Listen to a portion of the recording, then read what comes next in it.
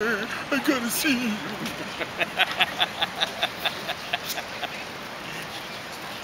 Make it a video. Uh, I like those red shoes.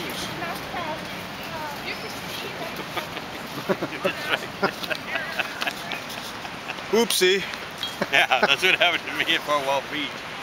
I was sitting on the shore, taking pictures of Marina and her friend out in the waves, you know,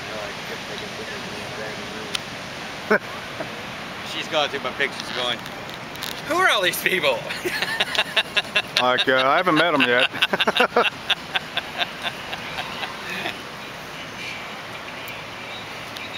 Man, I remember surfing right over there.